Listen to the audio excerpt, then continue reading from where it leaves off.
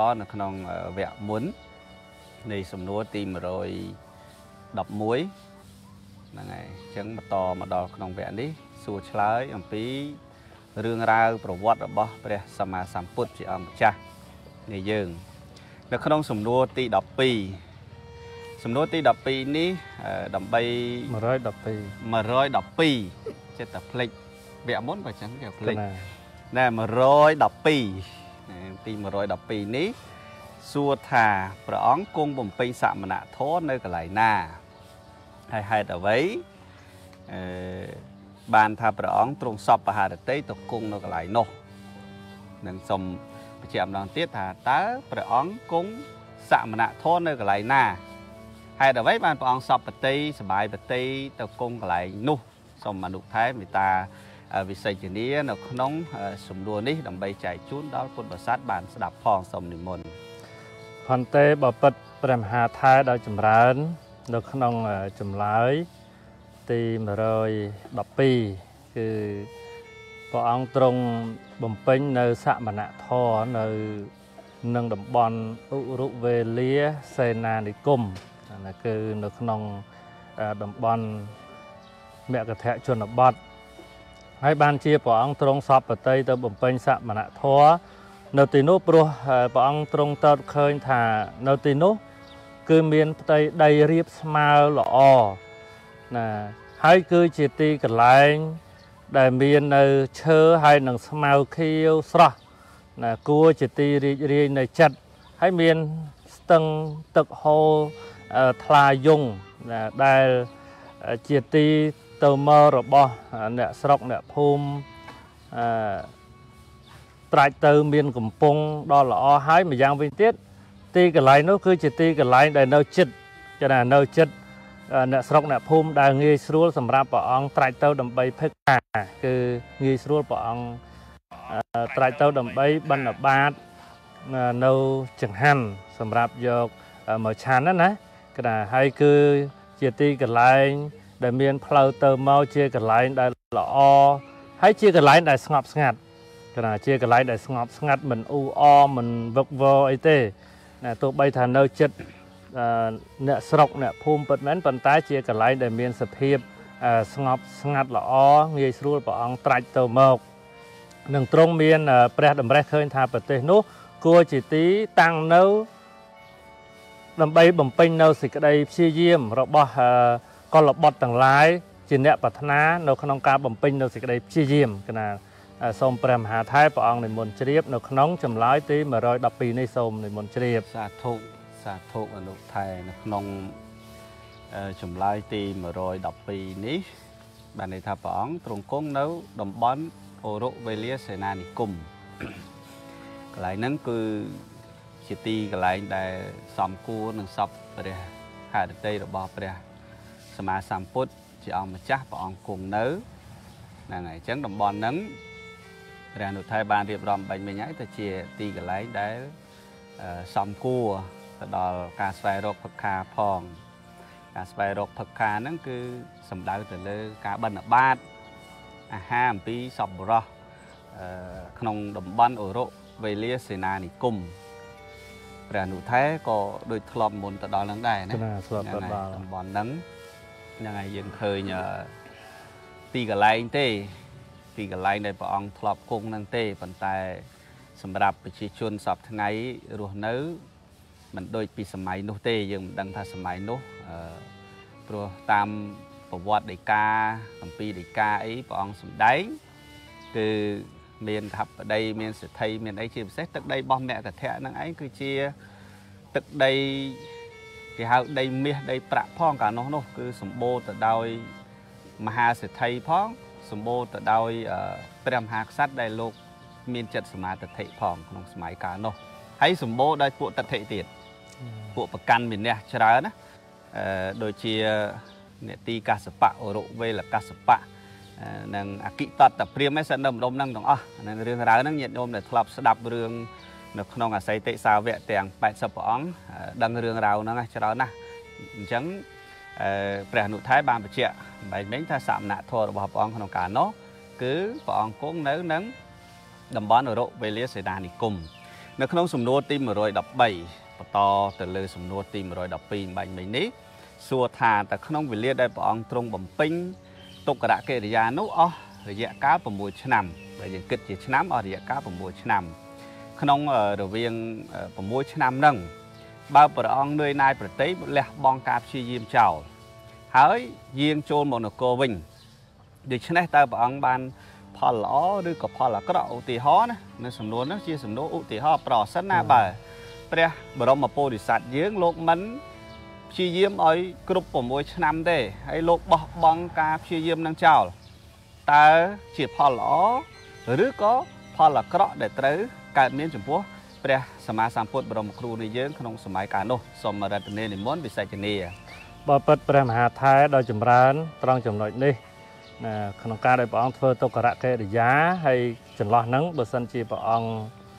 លះបង់នៅការបំពេញទុក្ករកិរិយាហើយចូលមកកាន់នគរវិញគឺមិនមានជាផលល្អអីសម្រាប់ព្រះអង្គនោះទេ ពីព្រោះការដែលរស់នៅ នៅក្នុងនគរមិនមែនជាផ្លូវដើម្បីការតាំងនៅឬក៏ដើម្បីបដិស្ថាននៅព្រះសាសនាទេណាហ្នឹងគឺជាជាផលមួយដែលមិនល្អសម្រាប់ព្រះអង្គផលល្អមិនល្អមួយទៀតគឺបើសិនជាព្រះអង្គទ្រង់ត្រឡប់មកនគរហើយសឹកបានន័យថាលះបង់ភេទជាបព្វជិតហើយចូលមកដល់ព្រះនគរវិញ នឹងធ្វើឲ្យពញាតវងសានវងអ្នកនគរទាំងឡាយហ្នឹងមើងងាយចំពោះព្រះអង្គថា ជាបុគ្គលខ្វះនៅសេចក្តីព្យាយាមហើយជាបុគ្គលដែលធ្វើអ្វីដែលមិនចប់ចុងមិនចប់ដើមអាហ្នឹងគឺតែងតែមានការមើងងាយចំពោះព្រះអង្គណាធ្វើការងារអ្វីមិនអោយហើយក្នុងវេលាដែលព្រះអង្គបំពេញទុក្ករកិរិយានេះ គឺយើងអាចយល់ឃើញថា ជាតួយ៉ាងដូច បញ្ចវគិភិក្ខុសំទោសបញ្ចវគិព្រាមទាំង5នាក់ដែលបម្រើព្រះអង្គណានៅពេលដែលឃើញព្រះអង្គទ្រង់សោយអាហារវិញក៏នាំគ្នាគិតថាព្រះអង្គនឹងគឺត្រឡប់ទៅជាបុគ្គលដែលមាននៅសេចក្តីប្រាថ្នាធំវិញនឹងគ្រាន់តែការផ្លាស់ប្ដូរពីការអត់ចង្ហាន់ហើយមកទទួលចង្ហាន់វិញតែប៉ុណ្ណោះរួចចុះទម្រាំព្រះអង្គលះបង់នៅសេចក្តីព្យាយាមហើយព្រះអង្គចូលមកកាន់នគរវិញគឺពិតណាស់ពិតជាមានអ្នកនគរ មើងងាយប្រមាថចំពោះព្រះអង្គថា ជាបុគ្គលខ្វះនៅសេចក្តីព្យាយាមហើយជាបុគ្គលប្រាថ្នានៅការមកសុខវិញ ជាបុគ្គលដែលធ្វើអ្វីដែលមិនចប់ចុងមិនចប់ដើមអីចឹងទៅគណៈអញ្ចឹងត្រង់ចំណុចនេះ គឺបើសិនជាព្រះអង្គចូលនគរវិញគឺមិនមាន ផលល្អសម្រាប់ព្រះអង្គឡើយគណៈសូមព្រះមហាថែនិមន្តជ្រាបសាធុសាធុអនុថែក្នុងសេចក្តីដែលរុថែបជាមកនេះបើយើងគិតទៅ អឺប៉ះសិនបើព្រះអង្គត្រឡប់ទៅវិញអឺអ្នកសើចំអកច្រើនណាស់ថាព្រះអង្គលះបង់មិនបានផងណាត្រាស់ដឹងយ៉ាងម៉េចអីចឹងទៅបញ្ញវគិ5រូបហ្នឹងក៏ព្រះអង្គសោយអាហារសោះមិនចាំបាច់ត្រឡប់បោះបង់ចោលទេគាត់ណាសោយអាហារសោះធ្វើជាអឺអឺភិក្ខុ ព្រះបរមពុរិស័ទបរិបត្តិធម៌ធម្មតាវិញសោយអាហារសោយចង្ហាន់វិញសោះរត់ចោលព្រះអង្គនោះពីអឺអរុវេលកាសបៈអស់សំទោអរុវេលាសេនានិគមរហូតទៅដល់នោះពីរៀនអាស័យហ្នឹងហើយជាហោហែច្រើនណាស់អញ្ចឹងនេះជាហេតុផលដែលព្រះអង្គមិនបានត្រឡប់ទៅវិញនៅក្នុងការដែលធ្វើទុក្ខរកិរិយាអញ្ចឹងនៅក្នុងសំណួរបន្ត114អឺ សូមព្រះអនុថែមេត្តាជួយបញ្ជាក់ត្រង់ចំណុចថាព្រះមហាបុរសបពោលតាមពុទ្ធចរិយាបានន័យថាព្រះមហាបុរសយើងណាគឺពុទ្ធជាអង្គម្ចាស់នៃយើងហ្នឹងលោកមានបញ្ញាជ្រាលជ្រៅអស្ចារ្យណាស់អាចជ្រាបច្បាស់ច្បាស់លាស់ល្អនៅក្នុងវិជាផ្លូវលោក ដែលមានបញ្ញាជាអស្ចារ្យដែលមិនអាចអ្នកដតីឯណាមកប្រៀបធៀបបាន ហើយប្រសិនណាបើ បញ្ញាបុគ្គលធម្មតាមកប្រៀបធៀបស្មើជាមួយនឹងព្រះរាជឱរសរបស់យើងគឺព្រះពុទ្ធអង្គនោះមិនបានទេចុះតើបញ្ញាដែលអស្ចារ្យនឹងកើតមានចំពោះព្រះអង្គក្នុងពេលដែលព្រះពុទ្ធអង្គត្រាស់ដឹងនៅសัพបញ្ញុពុទ្ធហើយឬក៏បញ្ញានឹងមានមិនទាន់បានត្រាស់ដឹងក៏មានបញ្ញាដែរអញ្ចឹងសូមអនុថែមេត្តាជួយវិសេចនានៅក្នុងសំណួរ114នេះដើម្បីបានជាកតិក្នុងការស្ដាប់កើតបញ្ញាផងដែរសូមនិមន្តវិសាជនី បបិទ្ធព្រះមហាថាដ៏ចម្រើនតកតងទៅនឹងប្រាជ្ញាឬបញ្ញារបស់ព្រះបរមពុរិស័ទនេះ គឺបើយើងសិក្សាពីប្រវត្តិរបស់ព្រះអង្គទៅ គឺព្រះអង្គមិនមែនមាន ប្រាជ្ញាឃ្លាវខ្លាមានបញ្ញាអស្ចារ្យត្រឹមតែ ពេលដែលព្រះអង្គបានត្រាស់ដឹងនេះហើយប៉ុណ្ណោះទេ គឺតាំងពីព្រះអង្គនៅជាគរាវាសម្លេះព្រោះកាលដែលនៅជាគរាវា ព្រះអង្គទ្រង់បានរៀនសូត្រនៅចំណេះដឹងហើយចេះដឹងយ៉ាងស្ទាត់ជំនាញចេះដឹងយ៉ាងម៉ត់ចត់តួយ៉ាងដូចជាចំណេះដឹងចំណេះវិជ្ជាផ្នែកខាងខត្តយៈធរណាណាធរជាខ្សាត់ត្រូវប្រព្រឹត្តប្រតិបត្តិដូចម្ដេចខ្លះហើយនឹងកតិលោកដតីដតីទៀតជាច្រើនដែលព្រះអង្គបានរៀនសូត្រគឺណាដូចជារឿងដំណើរថាកាលដែលព្រះរាជបិតាបាននាំយក ព្រះអង្គឲ្យទៅរៀនពីសំណាក់របស់អាចារ្យវិស្វាមិត្រណាគណៈអាចារ្យវិស្វាមិត្រហ្នឹងគឺជាអ្នកចេះដឹងហើយព្រះបរមពុរិស័ទហ្នឹងគឺព្រះអង្គបានរៀនសូត្រចេះដឹងរហូតដល់អស់ចំណេះវិជ្ជានឹងពីគ្រូណារៀនសូត្របានចេះដឹងព្រះអង្គទ្រង់រៀនចេះដឹងស្ទាត់ជំនាញតតែអស់ពីគ្រូហ្នឹងរហូតដល់ចេះវិជ្ជាបាញ់បាញ់ធ្នូ វិជ្ជាបាញ់ស្នាហ្នឹងប្រកែទៀតផងរហូតដល់ព្រះអង្គបានឲ្យព្រះបរមពុរិស័ទនឹង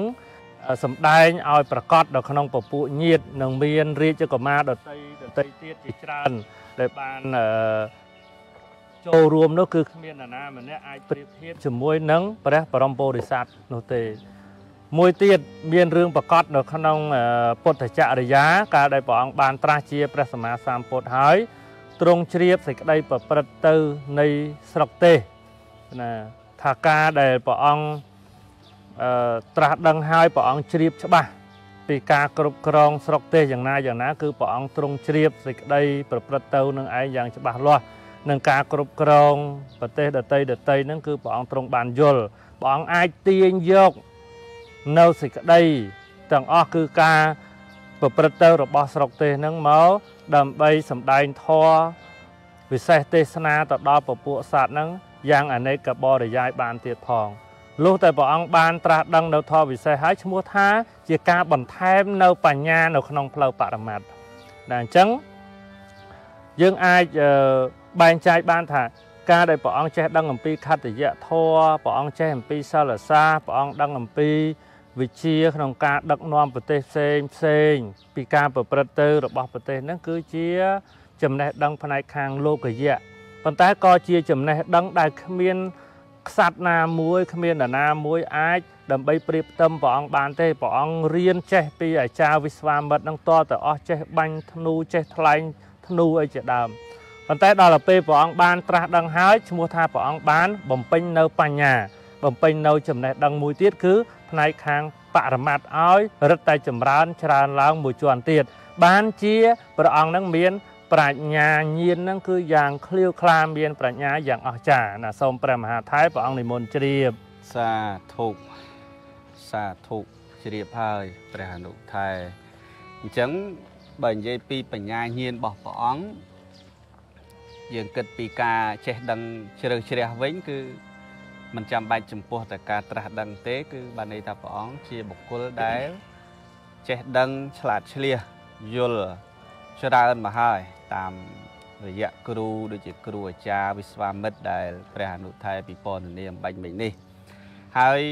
ការត្រាស់ដឹងទៀតនោះគឺលោកជ្រាបច្បាស់នៅលោកកធរតែម្ដងជ្រាបច្បាស់នៅត្រៃលោកតែម្ដងជ្រាបជ្រាបច្បាស់នៅ10000លោកធាតុតែម្ដងក្នុងការត្រាស់ដឹងហ្នឹងគឺ បញ្ញាហ្នឹងគឺចំពោះបញ្ញារបស់ព្រះអរហន្តព្រះអរិយបុគ្គលជាន់ខ្ពស់ដែលលោកអាចជ្រាបដោយលោកមានវិជា3វិជា8ចរណៈ15អីចឹងណាដោយដែលយើងធ្លាប់សូត្រអឺព្រះអង្គព្រានាមអឺវិជាចរណៈសម្បណ្ណោវិជាចរណៈសម្បណ្ណោអញ្ចឹងហ្នឹងអាហ្នឹងយើងជ្រាបច្បាស់ហើយត្រង់ដែលអ្វីដែលពេលដែលព្រះសម្មាសម្ពុទ្ធបរមគ្រូព្រះអង្គបានត្រាស់ដឹង តែមិនមែនបានន័យថាព្រះអង្គជាជាមនុស្សដែលទំលងមូលទេ បានមកបួសហើយបានចេះទេ គឺបានន័យថាព្រះអង្គបានយល់បានចេះដឹងច្រើនហើយបានន័យថាយល់បើនិយាយពីចំណេះវិញគឺថាលើសអស់មនុស្សទាំងឡាយនៅក្នុងពិភពលោកនឹងផងដែរក្នុងការនោះឥឡូវនេះមកចូលដល់សំណួរទី115ព្រះអនុថែដ៏មានអាយុតើព្រះសម្មាសម្ពុទ្ធយើងនេះដែលព្រះអង្គបានសាងពុទ្ធភ្នោះរួចហើយ ព្រះអង្គបានសាងពុទ្ធភ្នោះបួសជាបព្វជិតរួចហើយតើព្រះអង្គស្វែងរកការត្រាស់ដឹងជាប្រពុតនឹងដោយឧបាយអ្វីខ្លះក្នុងការស្វែងរកដើម្បីបានការត្រាស់ដឹងនៅអនុត្តរសម្មាសម្ពុទ្ធញ្ញាណសូមព្រះអនុថែវិសេចនីបើពិតព្រះមហាថាដោយចម្រើន ក្នុងឧបាយនៃការស្វែងរកនៅការត្រាស់ដឹងរបស់ព្រះអង្គគឺព្រះអង្គទ្រង់សាងប្រភ្នោះរួចហើយព្រះអង្គ ស្ដេចយាងទៅកាន់សំណាក់របស់អាចារ្យពីរនាក់ណាគឺទី1ឧតកតបោះនិងទី2អឡារៈតបោះដែលមហាជនគេរាប់អានតបោះពីអ្នកហ្នឹងថាជាគណៈអាចារ្យដ៏ធំឬក៏ហៅថាគណៈអាចារ្យណាគឺជាអាចារ្យដ៏ធំនៅក្នុងសម័យនោះ ដើម្បីសុំសិក្សានៅលទ្ធិសម័យដើម្បីលបងមើលឲ្យឃើញថា ជាឧបាយនឹងឲ្យសម្រេច ដោយប្រាថ្នាឬទេ ការដែលព្រះអង្គទ្រង់សិក្សាអស់ចំណេះដឹងពីគ្រូទាំងពីរនោះហើយទ្រង់យល់ឃើញថា មិនមែនជាផ្លូវនៃការបាននៅសម្មាសម្ពោធិញ្ញាណទេទើបទ្រង់ចេញអំពីសំណាក់របស់តបោះទាំងពីរនោះយាងទៅទៀតបានទៅដល់ស្រុកឧរុវេលាប្រទេសឬក៏ហៅថាឧរុវេលាសេនានិគមដែលជាទីសបាយជាទីរីករាយនោះ ហើយគួរជាទីតាំងនៅនៃសេចក្តីព្យាយាមទើបគង់ធ្វើសេចក្តីព្យាយាមនៅក្នុងទីនោះដោយទុក្ករកិរិយាទូលមានព្រះកាយរបស់ព្រះអង្គនឹងអស់រយៈកាល6ព្រះវស្សាប្រាថ្នាដើម្បីហាមឃាត់ចិត្តរបស់ព្រះអង្គនឹងមិនឲ្យរវើរវាយដោយប្រការផ្សេងផ្សេងណាណាហើយមានការខំសង្កត់ប្រតនដោយប្រតននិងអត់ដង្ហើមនិងអត់អាហារជាដើមនៅក្នុងពេលវេលាដែលព្រះអង្គធ្វើទុក្ករកិរិយានោះណា បានសោយទុក្ខវេទនាយ៉ាងខ្លាំងក្លាប៉ុន្តែព្រះតីមិនរវើមិនរវាយមានព្រះស្មារតីតាំងមមតមល្អណាព្រះអង្គអត់អាហារមែនក៏ប៉ុន្តែព្រះអង្គមានប្រតិយមមតមល្អមិនរវើមិនរវាយទេ ការត្រង់យល់ឃើញថាការធ្វើទុក្ករកិរិយាបែបនេះ មិនមែនជាផ្លូវត្រូវមិនមែនជាផ្លូវដើម្បីបាននៅពោធិញ្ញាណទេក៏ត្រង់ផ្លាស់ចោល ណាដោយចេញអំពីផ្លូវនោះទៅហើយរិះរកផ្លូវថ្មីទៀតដោយមិនរួញរាដោយមិនលះបង់នៅសេចក្តីព្យាយាមទេ ក្នុងទីបំផុតទ្រង់ធ្វើនៅសេចក្តីព្យាយាម ខាងក្នុងផ្លូវចិត្តរបស់ព្រះអង្គរាប់តាំងអំពីព្រះអង្គទ្រង់ប្រភ្នោះបាន6ឆ្នាំណាគឺព្រះអង្គទ្រង់ចេញប្រភ្នោះរហូតមកដល់ពេលនោះគឺគ្រប់6ឆ្នាំទើបព្រះអង្គបានត្រាស់ដឹងនៅសម្មាសម្ពោធិញ្ញាណ គឺយល់ជ្រាបច្បាស់នៅអរិយសច្ចធម៌ទាំង4សូមព្រះមហាថែព្រះអង្គនិមន្តជ្រាបសាធុសាធុសាធុណាអញ្ចឹងដោយឧបាយយ៉ាងនេះដែលព្រះអនុថែបានបញ្ជាក់បរិយាយទៅដោយរឿងរ៉ាវរបស់ព្រះបរមពុទ្ធិសត្វការដែលព្រះអង្គបាន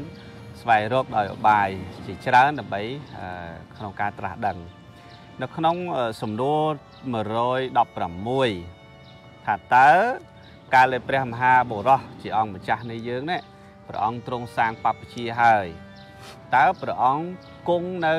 ទីកន្លែងណា ដែលព្រះអង្គសាងបព្វជិហើយហ្នឹងតើព្រះអង្គគង់នៅកន្លែងណា ហើយព្រះអង្គមានសោយអាហារដែរឬទេ ហើយបានទទួលពាក្យបដិញ្ញារបស់នរណាខ្លះដែរឬទេអញ្ចឹងសូមព្រះអនុថែ ជួយវិសេចនានៅក្នុងសំណួរទី116នេះសូមនិមន្តបើពិតព្រះមហាថាដ៏ចម្រើន គឺក្នុងពេលដែលព្រះអង្គទ្រង់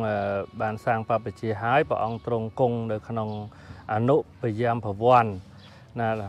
ហើយព្រះអង្គទ្រង់មិនសោយអាហារហ្នឹងអស់រយៈកាល7ថ្ងៃគឺណាលុះថ្ងៃទី8ទៅព្រះអង្គទ្រង់យាងទៅបិណ្ឌបាត នៅក្នុងក្រុងរាជក្រឹស ហើយព្រះអង្គបានទទួលពាក្យបដិញ្ញារបស់ព្រះរាជាមួយព្រះអង្គគឺព្រះបាទពំពិសារាជថាបើសិនជាព្រះអង្គបានត្រាស់ដឹងហើយសូមឲ្យព្រះអង្គយាង ទៅប្រោះដល់ប្របាទពំពិសាហ្នឹងមុនគេគេថាសូមព្រះមហាថៃព្រះអង្គនិមន្តជ្រាបណាសាធុសាធុអញ្ចឹងរឿងរ៉ាវដ៏ពិស្ដាណាញាតិញោមអឺអញ្ជើញចូលទៅស្ដាប់នៅក្នុងប្រវត្តិរបស់ព្រះបាទពំពិសារាជ នៅក្នុងប្រវត្តិរបស់ពុទ្ធបាសកក្នុងពុទ្ធសាសនាព្រោះបើនិយាយពីយើងហៅភាសាសពថ្ងៃគេហៅថាញោមធរបើនិយាយពីព្រះអង្គមានមានញោមធរគឺក្នុងការនោះព្រះអង្គបានទទួលញោមធរគឺប្របាទពុទ្ធភាសានឹងតែម្ដងហ្នឹងហើយយើងនិយាយថាអញ្ចឹងថាញោមធរព្រោះកាលនោះប្របាទពុទ្ធភាសាពេលដែលឃើញអិរិយាបថរបស់ព្រះបរមពុទ្ធិស័តពេលដែលលោកនិមន្តយាងទៅបិណ្ឌបាតហ្នឹងឃើញអិរិយាបថហ្នឹងស្រឡាញ់ហ្មងជួបភ្លាមហ្នឹងលោក ស្រឡាញ់ដូចកូនរបស់លោកបកើតអញ្ចឹងបានន័យថាដូចបនរបស់គាត់ដែលបានបំពេញពីអតីតជាតិមកឲ្យជួបព្រះសម្មាសម្ពុទ្ធហើយឲ្យជួបមុនគេហើយនឹងបានទទួលព្រះពុទ្ធមកព្រះអង្គក្នុងនាមជាកូន តែមិនមែនជាកូនបង្កើតអញ្ចឹងយើងនិយាយដូចភាសាសប្ងៃថាដូចកូនធរហើយនឹងញោមធរអញ្ចឹងហើយរហូតដល់ សបាយបតីដែលប្របាទពុទ្ធវិសាលោកបានជួបជាមួយនឹងព្រះបរមពុទ្ធសាសក្នុងការនោះលោកសបាយបតីតាំងពីពេលនឹងមកថាសង្ឃឹមថាកូនខ្ញុំនឹងបានត្រាស់ដឹងជាពុទ្ធហើយនឹងបានមកសម្ដែងធម៌ប្រុសខ្ញុំព្រះអង្គនឹងបានមុនគេក្នុងការនោះសបាយបតីហើយលោកមើលកន្លែងណាដែលលោកអឺសបាយសពរាជហតីជាងគេនៅក្នុងទឹកដីរបស់រាជក្រឹសរបស់លោកហ្នឹង មានតែក្នុងការនោះគឺមានតែព្រៃវេលវ័នទេលោកសម័យទុកឲ្យស្រេចលោកថាពេលណាដែលពពុទ្ធជាអង្គម្ចាស់ជាកូនរបស់គាត់នេះនឹងបានត្រាស់ដឹងគាត់នឹងសាងអារាមមួយថ្វាយនៅក្នុងព្រៃវេលវ័នហ្នឹងឯងជាកន្លែងដែលលោកសបាយប្រទេសជាងគេកាលណានៅក្នុងកម្ពីដីកាបញ្ជាក់ថាប្របាទពុទ្ធសាសលោកពេលណាលោកហៅថាអបសុកប្រទេសឬក៏មានវិបត្តិផ្លូវចិត្តអីហ្នឹងលោកតែងតែចូលទៅព្រៃវេលវ័នហ្នឹងឯងដើម្បីកាលណាចូលទៅទុកទាំងបានបានគឺ តែងតែស្រាក់ស្រានក្នុងពេលដែលលោកចូលទៅក្នុងព្រៃវេលវ័នហ្នឹងអញ្ចឹងហើយបើយើងគិតទៅក្នុងកាលនោះ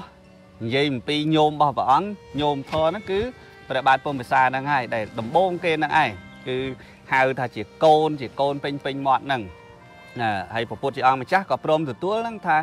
ក្នុងកាលនោះបើសិនជា ការត្រាស់ដឹងរបស់ពពុទ្ធអង្គរួចស្រេចបាច់ហើយ សំដែងពធប្រុសប្របាទពងភាសាអញ្ចឹងធ្វើកើតនៅសេចក្តីអស្ចារ្យមិនមែនជាចៃដន្យទេនៅក្នុងការសន្សំបារមីរបស់ប្របាទពុំភាសានោះមិនមែនជារឿងចៃដន្យទេ គឺលោកសន្សំបារមីយូរហើយក្នុងពេលដែលបានជួបពពុទ្ធអង្គក្នុងការនោះនោះអញ្ចឹងនៅក្នុងសំណួរបន្តព្រះអនុថែសំណួរទី117ថាតើព្រះសម្មាសម្ពុទ្ធបរមគ្រូកាលនៅជាព្រះបរមពោធិសត្វនោះដែលកំពុងធ្វើទុក្ខរកិរិយានោះ តើមានអ្នកណាខ្លះនៅបំរើព្រះអង្គកាលដែលព្រះអង្គធ្វើទុក្ខរកិរិយាសូមវិសេចនាបបិទ្ធព្រះមហាថែដ៏ចម្រើន គឺមានកូនព្រាម5នាក់នៅបំរើព្រះអង្គនោះទី1គឺអញ្ញាកោនដញ្ញៈទី2គឺវបៈទី2ផតយៈទី3អសជិនិងទី4មហានាម អានឹងទី5ផតយៈគឺថាអញ្ញាកោនដែលញាក់មួយផតយៈមួយវបៈមួយអសជិមួយនិងមហានាមួយណាទាំង5ព្រះអង្គនឹងឯងគឺជាអ្នកនៅបម្រើព្រះអង្គតាំងពីព្រះអង្គធ្វើទុក្ករកិរិយាសូមព្រះមហាថានិមន្តជ្រាបសាធុសាធុអនុថែអញ្ចឹងបានន័យថាអ្នកដែលបម្រើព្រះអង្គក្នុងការនោះមានតែ5អ្នកទេ5អ្នកហ្នឹងនៅជាប់តែម្ដងមិនមែនបានន័យថាអឺយូរយូរម្ដងបាននៅជាប់គិតទៅ6ឆ្នាំញាតិញោមនៅជាប់ អឺដូចជាកោដញ្ញៈដូចជាមហានាមអសជិបបផតយៈអីចឹងបានន័យថា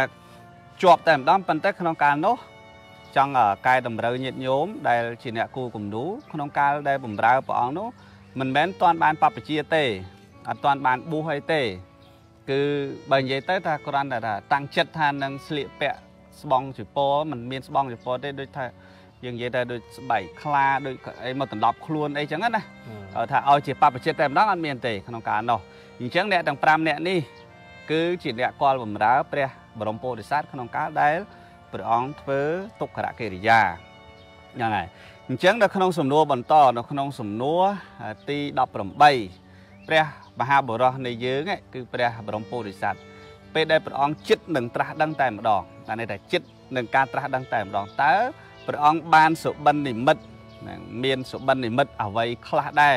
នៅក្នុងពេលដែលមុនព្រះអង្គត្រាស់ដឹងជាពុបហេតុបញ្ជាក់ថាការត្រាស់ដឹងនោះតើ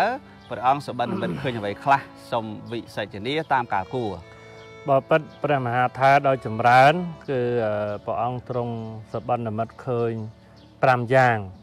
ទីមួយព្រះអង្គទ្រង់ឃើញថាទ្រង់ផ្ទុំផ្ងានៅលើមហាប្រតិពីហើយព្រះសិរៈ គឺប្រកេះរបស់ព្រះអង្គហ្នឹងកើយនៅលើភ្នំហេមពៀនប្របាទទាំងគូរបស់ព្រះអង្គហ្នឹងគឺចុះសណ្ដោកទៅកាន់មហាសមុទ្រខាងទិសទក្សិនហើយពហោះខាងឆ្វេងរបស់ព្រះអង្គហ្នឹងអឺខាងឆ្វេងប្រហោះខាងស្ដាំរបស់ព្រះអង្គហ្នឹងគឺ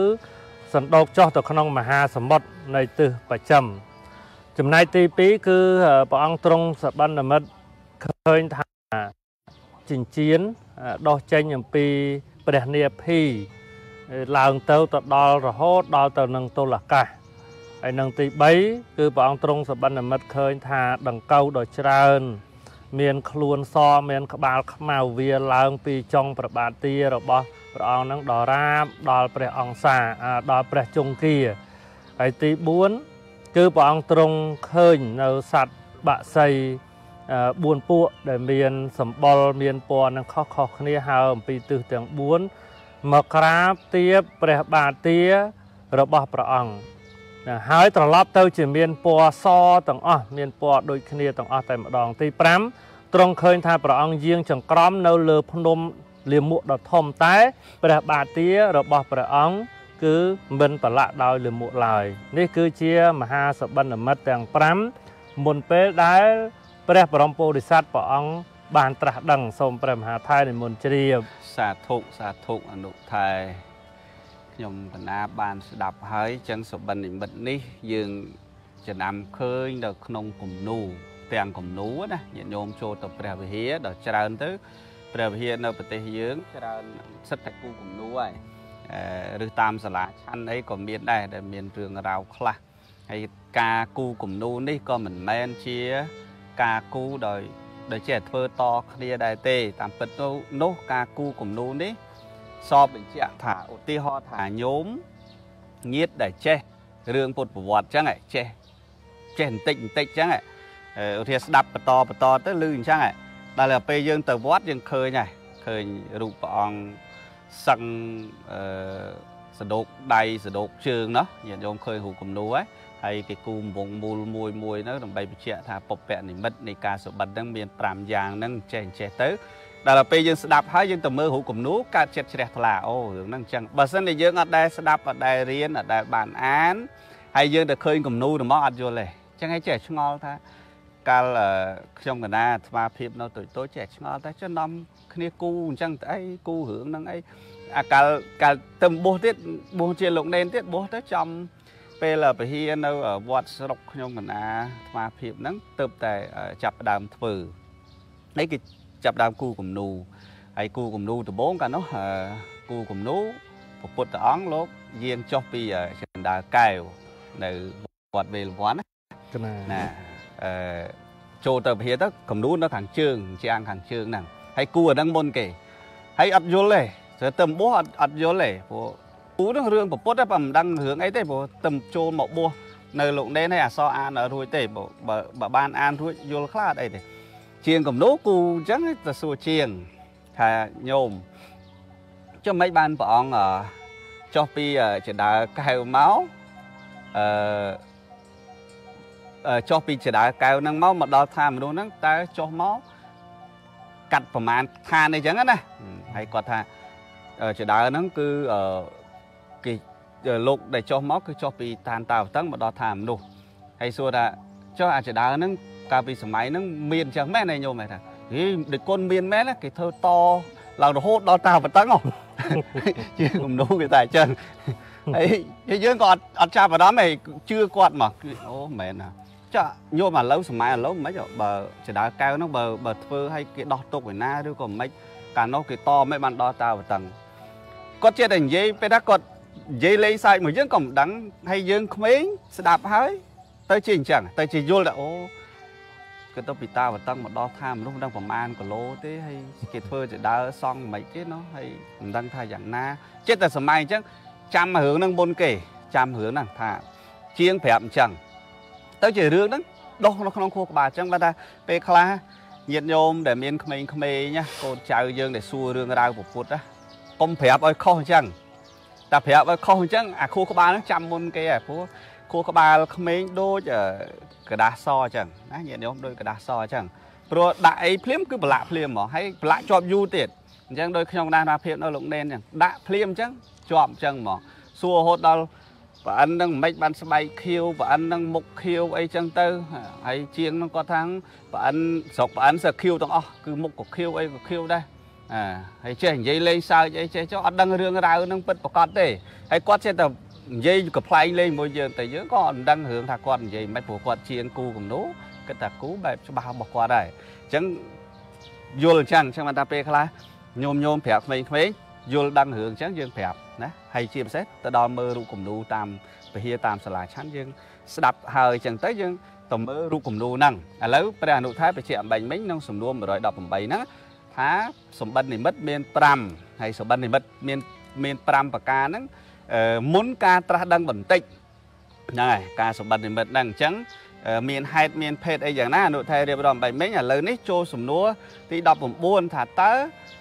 ការសម្បត្តិនិមិត្តរបស់ព្រះបរមពុរិស័ទមុនការត្រាស់ដឹងបន្តិចហ្នឹង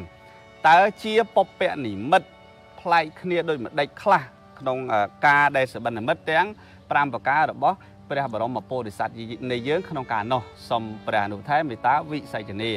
បបិទ្ធព្រះមហាថែដោយចម្រើននៅក្នុងសបណ្ឌមិត្តទាំង5មុនពេលដែលព្រះអង្គបានត្រាស់ដឹងហ្នឹងមានសេចក្តីប្លែកគ្នាអញ្ចេះត្រង់ទី1ការផ្ទុំនៅលើផែនដីរបស់ព្រះបរមពុរិស័ទណាជាបបនិមិត្តនៃការបាននៅអនុត្តរៈសម្មាសម្ពុទ្ធញ្ញាណគឺការត្រាស់ដឹងនឹងឯង ព្រះសិរៈគឺប្រកាសសមុទ្រនោះគឺជាពពនិមិត្តនៃការសំដែងនៅធម្មចក្រកបវត្តនៈឲ្យប្រព្រឹត្តទៅ ដើម្បីបានជាប្រយោជន៍ដល់ពពួកមនុស្សបានជាប្រយោជន៍ដល់ពពួកនៃទេវតាទាំងឡាយហើយការផ្ទុំផ្ងានៅលើផែនដី គឺជាពពនិមិត្តនៃការបានដាស់នៅសัตว์ឬក៏ដឹកនាំនៅ វេនយសัตว์ដែលមានមុខផ្កាប់ចុះឲ្យផ្ងាឡើងមកវិញទៅដោយការឃើញនៅអរិយសច្ចធម៌កិរិយាផ្ទុំបើកព្រះនេត្រគឺជាពពនិមិត្តនៃការបាននៅទឹកបច្ចៈខុដែលធ្វើឲ្យព្រះអង្គដឹងអំពីចោតិដឹងអំពីបដិសន្ធិរបស់សត្វនៅក្នុងត្រៃភពនឹងឯងការបានឃើញនៅពន្លឺដរាបទៅដល់ភវកព្រំ គឺជាពពនិមិត្តនៅជាពពនិមិត្តនៃអនាវរណញាណមានន័យថាជាពពនិមិត្តនៃការបាននៅញាណដ៏ជ្រាលជ្រៅដែលមិនមានអ្វីមកទើសមកផ្ទាល់បានព្រះអង្គចង់ដឹងនៅអ្វីចង់ជ្រាបនៅអ្វីក៏ព្រះអង្គបានដឹងបានជ្រាបនៅហេតុទាំងឡាយនោះណានេះគឺជាអនាវរណញាណទី2ដែលព្រះអង្គទ្រង់ឃើញស្មៅចិញ្ចៀន ដែលដោះលេចអំពីព្រះនាភីនោះ គឺជាពពនិមិត្តសំដែងនៅ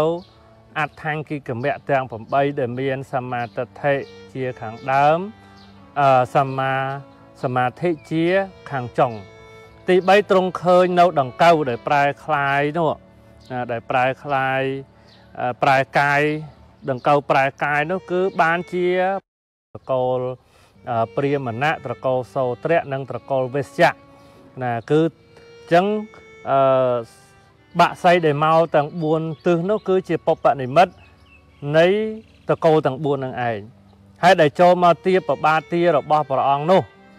គឺមានន័យថាត្រកូលទាំង4នឹងឯងដែលចូលមកបួសមកប្រព្រឹត្តនៅព្រមបច្ចរិយធម៌តាមធម៌តាមវិន័យដែលព្រះអង្គទ្រង់សម្ដែងព្រះអង្គទ្រង់ដឹកនាំ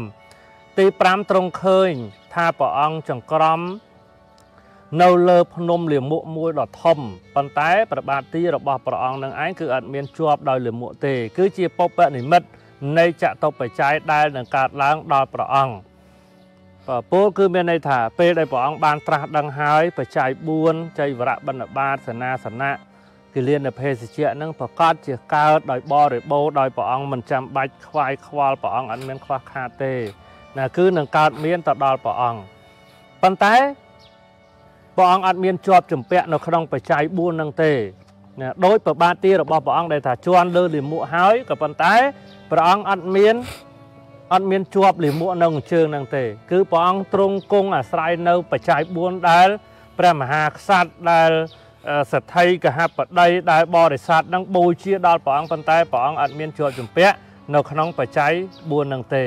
ណានេះគឺជាពពនិមិត្តមួយដ៏អស្ចារ្យសម្រាប់ព្រះអង្គដែលមុននឹងព្រះអង្គបានត្រាស់ដឹងណាណាអញ្ចឹងខ្ញុំបកណាសូមចូលរួមបកស្រាយប៉ុណ្ណេះសូមព្រះមហាថៃព្រះអង្គនិមន្តជ្រាបសាធុសាធុហ្នឹងហើយញាតិញោមបើសិនជាអឺមានឱកាសអាចអឺ សិក្សាយល់ដឹងពីចំណុចមួយនេះបន្ថែមរឹតរឹងតែប្រសើរព្រោះសម្រាប់ខ្ញុំកណាអាត្មាទាំងពីរព្រះអង្គបើនៅអង្គន់ឲ្យអធិប្បាយឲ្យច្រើនអឺសំណួរនៅច្រើនទៀតតែគ្រាន់តែជាហេតុជាចំណុចកលឹះសំខាន់ដើម្បីឲ្យញោមញោមបានយល់ដូចនៅក្នុងអឺពពនិមិត្តរឿងដើរចង្ក្រមលើភ្នំលិមួកអញ្ចឹង ការដើរចង្ក្រមលើភ្នំលិមួករបស់ការសម្បត្តិនិមិត្តរបស់ព្រះពុទ្ធជាអង្គម្ចាស់ក្នុងកាលនោះអឺបើយើងអត់យល់យើងឆ្ងល់ថាចុះកន្លែងមកកកោកមិនក៏មិនទៅសម្បត្តិនិមិត្តមិនមិនទៅដើរចង្ក្រមបែរទៅជាគូរូបទៅលើភ្នំលិមួកទៅវិញឃើញយើងអត់យល់ទេតែតែតាមពិតក្នុងន័យលោកបញ្ជាក់ថាមិនជាប់ជំពាក់ដោយគ្រឿងអឺអមិសៈទាំងឡាយ និយាយអញ្ចឹងទៅថាគ្រឿងអមិសៈទាំងឡាយមានអឺលិបសការៈមានបច្ច័យ4ណាមានរបស់របរផ្សេងផ្សេងទាំងអមិសៈវត្ថុទាំងឡាយដូចជាអឺនិយាយរួមទៅថាជាលៀប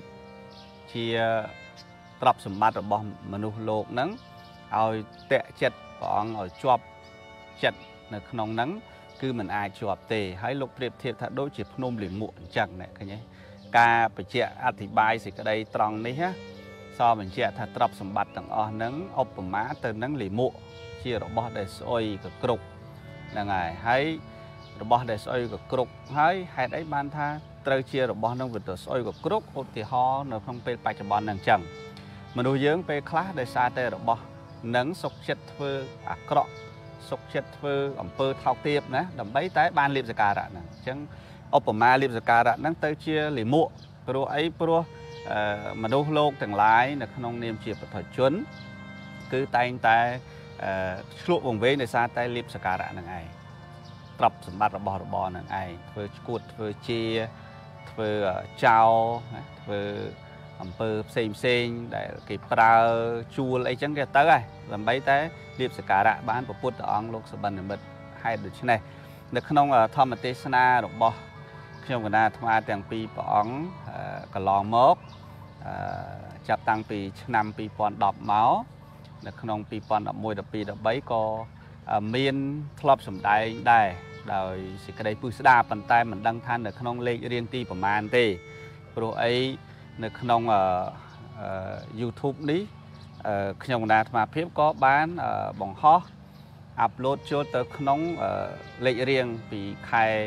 1ខែ2ខែ3ខែ4រហូតដល់ខែ12ក្នុងឆ្នាំ2011ហ្នឹងហើយនៅមានបន្តទៀតបើអាចស្ដាប់ទៅអាចប៉ះខ្សែអាត់ខ្លះនិងមានការបច្ឆាវិសិជ្ជនីគ្នាតកតងរឿងសំណួរអស់ហ្នឹងច្រើនណាស់ព្រោះកាលនោះ យើងវាអត់មានអីរបស់ទំនើបអីទេណាកាលនោះថតកសែតថតកសែតណាថតកសែតដោយកាលពីមុនយើងថតកសែតមកខ្សែអាត់ហ្នឹងកសែតហើយគួរឲ្យសោកស្ដាយដែរដែលខ្សែអាត់ហ្នឹងវាខូចអស់ច្រើនព្រោះបើយើងគិតទៅវា4 5កេះថាកសែតហើយมันបានចម្លងចូលឲ្យអស់ទុកទៅវាត្រូវទឹកវាត្រូវអីទៅខូចខ្សែអាត់ហ្នឹងអស់ហើយជាទូទៅសម្រាប់ ខ្សែអាត់សំលេងធរដែលទេសនាឲ្យកម្រណាដើម្បីទុកចោលគឺសុកចិត្តយកមកនេះដល់សម័យគេទំនើបអញ្ចឹងយកមកទុកចោលនៅក្នុង YouTube ទៅឬក៏យកមកទុកចោលនៅក្នុង Facebook ទៅហើយទេសនា10ឆ្នាំមុន ជាង10ឆ្នាំមុនយកមកដល់ឥឡូវនៅតែធរហ្នឹងត្រូវសម័យកាលជានិច្ចអត់ខុសទេប៉ុន្តែគាត់ថាកាលនោះយើងវាអត់តាន់ចេះអា ថតសំឡេងថតអីហ្នឹងនេះចេះតែមញេណាចេះតែកូនមញេថតកូនមញេអីចឹងទៅដល់យូរទៅអាសំឡេងក៏លឺវាមិនសូវល្អសំឡេងធម្មតាប៉ុន្តែនិយាយទៅលងងូងូអត់សូវព្រោះមិនមែនថាព្រោះសំឡេងទេគ្រាន់តែខ្សែអាត់ហ្នឹងវាអត់សូវច្បាស់ល្អប៉ុន្តែ មកចូលមួយឆ្នាំ2011មកគឺខ្សែអាត់ហ្នឹងមាន record ដែរបានន័យថាមានប្រដាប់ថតសលេងឬច្បាស់ល្អហើយប៉ុន្តែពី2010ចុះទៅក្រោមគឺថាចោលអស់ឡើង4 5កេះហើយញាតិញោមច្រើនណាស់ស្ដាយខ្សែអាត់សំលេងហ្នឹងច្រើនមែនតើដែលអស់ហើយដែលមិនបានរក្សាទុកឲ្យបានល្អប៉ុន្តែពី2000ចុង2010មកដល់ឥឡូវនេះគឺខ្សែអាត់រាល់សំលេងទាំងអស់គឺនៅមានទាំងអស់គឺបានន័យថាពីខែប្រហែលក៏នៅមានដែរអញ្ចឹងប៉ុន្តែ ញាតិញោមនៅក្រៅប្រទេសក្តីនៅក្នុងប្រទេសក្តីចេះតែចង់សុំកូពីយកជាសម្លេងយកទៅទាំងអស់អាត្មាប្រាប់ថាឥឡូវនេះពិបាកមកកូពីហើយញោមចូលទៅក្នុង YouTube ទៅស្ដាប់ទៅនឹងឲ្យមានទាំងអស់នៅក្នុង channel ដែលជាផ្លូវការរបស់ខ្ញុំណាអាត្មាភាពហ្នឹងគឺមានការអាប់ឡូតចូលទៅតាមខែនីមួយនីមួយអឺហើយ មិនមិនបាត់ធរមួយណាទេនៅក្នុងការដែលសម្ដែងហើយតាមផ្ទះញាតិញោមអីក៏ច្រើនដែរកាលនោះ2010 11 12ហ្នឹងយើងគិតទៅមួយថ្ងៃ4 5គ្រែណាហ្នឹងហើយច្រើនណាស់អញ្ចឹងញាតិញោមដែលធ្លាប់ស្ដាប់ហើយដល់អញ្ចង់មើលខែ1ខែ2ឬខែ3ឆ្នាំ2011កាលហ្នឹងប៉ុនផ្ទះឯងដែរនៅឯណាចូលរហទៅក្នុងខែហ្នឹងទៅញោមណាអាចជួបខ្សែអាត់ធរអាត្មាចាំអស់ទេព្រោះអ្នកទេសវាច្រើនដែរ យូរឆ្នាំដែរហើយតែវាសល់សម្លេងច្រើនអញ្ចឹងដូចរឿងសបិននិមិត្តហ្នឹងដូចគ្នាអញ្ចឹងតើតែស្ដាប់ផងតើតែមកមើលរូបគំនូបានយើងដឹងថាអូលក្ខណៈពិសេសអញ្ចឹងបានគេគូរូបសបិននិមិត្តទាំង5ប្រការដែលជាសបិននិមិត្តរបស់ព្រះមហាបុរសពុទ្ធអង្គមុនការត្រាស់ដឹងរបស់ព្រះអង្គនឹងផងឥឡូវចូលមកសំណួរទី120ព្រះអនុថែដ៏មានអាយុ នៅក្នុងមហាសបិនទាំង5ហ្នឹងតើដែលរៀបរាប់បំបញ្ញមិញនេះដែលអនុថែរៀបរាប់រឿងសបិនលើភ្នំលិមុរឿងសัตว์ទាំងឡាយមកពីទិសទាំង4មកអីចឹងទៅព្រះអង្គយកភ្នំយកមកកើយអីចឹងទៅតើនរណាអ្នកទាយឲ្យព្រះអង្គបានបានដឹងរឿងរ៉ាវនេះមាននរណាជាអ្នកទាយឲ្យព្រះអង្គដែរបានឬក៏ព្រះអង្គជ្រាបដោយព្រះអង្គអីឬក៏យ៉ាងម៉េចសូមព្រះអនុថែមេត្តាវិសេចនាបើពិត ព្រះមហាថាដោយចម្រើន ចំណុចនេះតាមពិតទៅគ្មានអ្នកណាទាយឲ្យព្រះអង្គទេព្រោះអីព្រោះព្រះអង្គនៅតែមួយព្រះអង្គឯងសំបីតែបញ្ចវិគីទាំង5រូបក៏រត់ចោលព្រះអង្គបាត់ទៅហើយហើយព្រះអង្គគង់នៅនឹងឧរុវេលាសេនានិគមហ្នឹងគឺព្រះអង្គគង់នៅតែមួយព្រះអង្គឯងទេអត់មានអ្នកណានៅចិត្តព្រះអង្គទេហើយ នៅពេលដែលព្រះអង្គបាននៅសបិននិមិត្តមុននឹងព្រះអង្គត្រាស់ដឹងនេះគ្មានអ្នកណាទាយឲ្យព្រះអង្គទេ តែព្រះអង្គទ្រង់សន្និដ្ឋានដោយព្រះអង្គឯងផ្ទាល់តែម្ដងណាគឺព្រះអង្គទ្រង់សន្និដ្ឋានថាព្រះអង្គនឹងបានត្រាស់ដឹងនៅអនុត្តរៈសមាសម្ពោធញ្ញាណណាព្រះអង្គគឺទ្រង់ទ្រង់ដឹងដោយខ្លួនឯងណាព្រះអង្គនឹងបានត្រាស់ដឹងជាប្រកបណាស់ហើយបើយើងគិតថាអត់មាននរណាទីឲ្យព្រះអង្គព្រះអង្គដឹងដោយខ្លួនឯងនេះ តើវាយ៉ាងណា តាមពិតបើទោះបីជាអ្នកណាមកទាយឲ្យព្រះអង្គក៏ប្រាជ្ញាមិនលើសពីព្រះអង្គដែរណាព្រោះអីព្រោះសំបីព្រាមសំបីអាចារ្យគឺព្រះអង្គបានរៀនចេះចប់អស់ហើយអញ្ចឹងបញ្ញារបស់ព្រះអង្គនឹងជ្រាលជ្រៅអញ្ចឹងព្រះអង្គអាចសន្និដ្ឋាន ដោយខ្លួនព្រះអង្គឯងថាអឺទៅតាមសបិននិមិត្តមួយមួយហ្នឹងថាព្រះអង្គគឺពិតជាបានត្រាស់ដឹងជាព្រះពុទ្ធពិតប្រកប ណាដោយដែលបានរៀបរាប់សពគ្រប់ប្រការឲ្យនៅក្នុងសបិននិមិត្តខាងលើណាណាអញ្ចឹងខ្ញុំបកណាឆ្លើយប៉ុណ្ណេះសូមព្រះមហាថៃនិមន្តជ្រាបសាធុសាធុអនុថៃសាទវោអស់លោកអ្នកសពបរោះទាំងឡាយអញ្ចឹងបានន័យថាគ្មាននរណាទាយឲ្យព្រះអង្គទេ គឺព្រះអង្គលោកលោកដឹងខ្លួនលោកតែម្ដងនៅក្នុងសបិននិមិត្តហ្នឹងតែប៉ុន្តែយើងមើលរឿងរ៉ាវព្រះអង្គមើលការសបិននិមិត្តដែលយើង ចាត់ទុកថាជាការសន្និដ្ឋានមួយត្រូវយើងក៏ធ្លាប់សម្បត្តិនិមិត្តដែរញាតិញោមក៏ធ្លាប់សម្បត្តិដែរមុននឹងតាំងកោអីសសពឃើញនេះសសពឃើញនោះពេលខ្លះឲ្យនរណាមកកាត់ក៏ពិបាកដែរយើងកាត់ខ្លួនយើងទៅព្រះអង្គកាត់ខ្លួនលោកដែរហ្នឹងប៉ុន្តែគាត់ថាបញ្ញាយើងវាមិនដូចបញ្ញាព្រះអង្គអឺប៉ុន្តែសបិនខ្លះវាមិនមែនទៅជារឿងពិតក៏យើងក៏គួរកុំផ្ដេកផ្ដួលតែសម្រាប់ព្រះពុទ្ធអង្គលោកសបិននិមិត្តនេះគឺមិនមែនមានតែព្រះអង្គ សមណគោដំទេណាគ្រប់ពុទ្ធទាំងអស់មុនការត្រាស់ដឹងគឺតែងតែមានសបិននិមិត្តអញ្ចឹងឯងក៏ប៉ុន្តែយើងឥឡូវនេះបើពេលខ្លះសម្បិនទៅយកទៅមកកាត់ចាក់កតុយលេខទៅវិញទេមិនមែនសម្បិនអឺទៅឃើញការត្រាស់ដឹងអីទេទៅកាត់ចាក់អីកតុយលេខអីចឹងទៅហ្នឹងហើយហើយថ្ងៃខ្លះដេកអត់យល់សពដល់វឹកចាក់មែនតើអត់ចាំបាច់អឺយល់សពទេហ្នឹងគាត់ឃើញឡានលេខឡានប្លែកមកក៏កាត់ចាក់ដែរណាណា អាហ្នឹងអាហ្នឹងកណ្ដាលនិយាយរឿងអ្នកអត់យល់សពថ្ងៃខ្លះណែដេកអត់យល់សពខឹងទៀតអត់ខឹងមានទៀតរសល់លេងមកយប់មិញ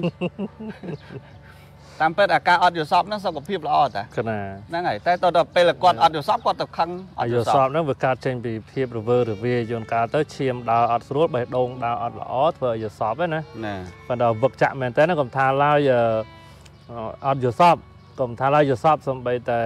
អ្នកចិត្តខាងស្លាប់ហ្នឹងណាក៏យកអាយុគេយកមកកាត់ចាក់ដែរស្លាប់ទៅគេចាក់បានមកគោកចាក់ត្រូវមកគោកហើយយូរទៅយូរយូរទៅនាំគ្នាជឿយូរយូរទៅខកចិត្តហ្នឹងបងទាំងកាលបានម៉ែអីស្លាប់ថ្ងៃចាក់ទុយលេខទៅជាចឹង នេះអឺនិយាយពេលខ្លះរឿងហ្នឹងវាមានពិតចឹងមែនណាញាតិញោមស្លាប់កាត់ចាក់ទុយលេខហ៎បងចាក់អត់ត្រូវជេរគេថាខ្មោចណែងាប់ហ្នឹងចឹងไรហ្នឹងហើយដល់ពេលចាក់ត្រូវបានអត់មានអ្នកងាប់ទៀតណាអញ្ចឹងទៅបើអញ្ចឹងអឺនៅក្នុងអឺសំណួរទីអឺ120នេះគឺព្រះអនុថែបានបញ្ជាក់រៀបរាប់ហើយនៅក្នុងសំណួរបន្តព្រះអនុថែនៅត្រង់សំណួរទី121 តើអឺព្រះសម្មាសម្ពុទ្ធជាអង្គម្ចាស់នៃយើងបានត្រាស់ដឹងពេលដែលព្រះពុទ្ធអង្គទ្រង់បានត្រាស់ដឹងតើព្រះអង្គទទួលមធុបាយៈអំពីស្ត្រីណាហើយនាងនឹងឈ្មោះអីហើយជាកូនរបស់អ្នកណាហើយនាងនឹងនៅស្រុកណានឹងនាងនឹងគឺពេញនិយមហ៎អញ្ចឹងសូមមនុស្សថែមេត្តាវិសិជ្ជនីអឺតាមការគួរណាសូមនិមន្តបាទសូមអរព្រគុណព្រះមហាថែសូម ញាតិញោមពុទ្ធបរិស័ទប៉ុណ្ណាជ្រាប